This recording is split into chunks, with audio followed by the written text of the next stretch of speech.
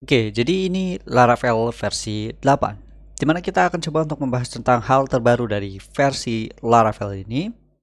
Dan hal yang paling pertama akan kita cek adalah server requirement yang dibutuhkan oleh Laravel versi 8 ini.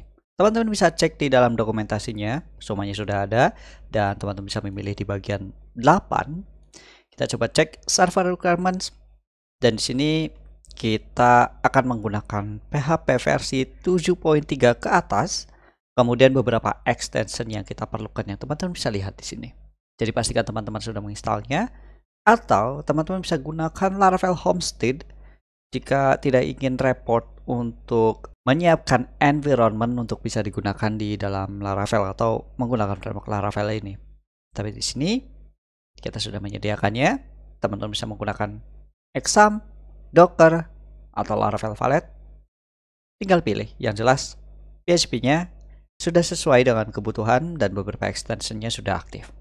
Dan ngomong-ngomong soal PHP, kita juga akan menggunakan dependency manager Composer, di mana versinya sudah masuk ke dalam versi 2 dalam video ini, dan terdapat beberapa peningkatan yang cukup signifikan di mana untuk menginstal framework Laravel ini bisa lebih cepat jika teman-teman menggunakan versi Composer 2 atau jika ada update di versi selanjutnya bisa teman-teman coba.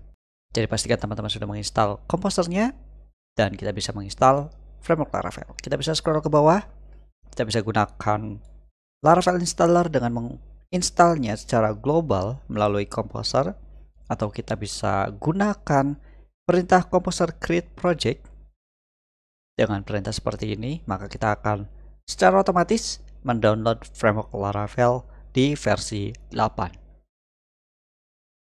Oke, mungkin kita bisa coba dengan menggunakan create project seperti ini. Kita copy.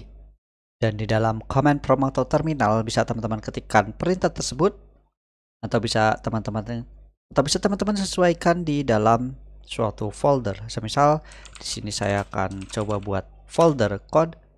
Ternyata di sini sudah ada. Kita bisa masuk code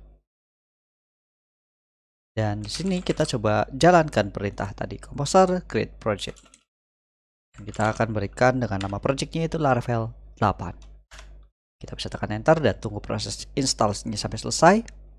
Oke, instalasinya selesai dan mungkin kita bisa masuk ke dalam directory Laravel 8 dan kita bisa jalankan PHP Artisan Serve di sini. Kita bisa buka di dalam browser. Oke, di sini teman-teman bisa melihat terdapat halaman utama dari Project Laravel yang mungkin sedikit atau banyak berbeda dengan versi sebelumnya. Dan kita akan lanjutkan apa saja yang terbaru di video selanjutnya.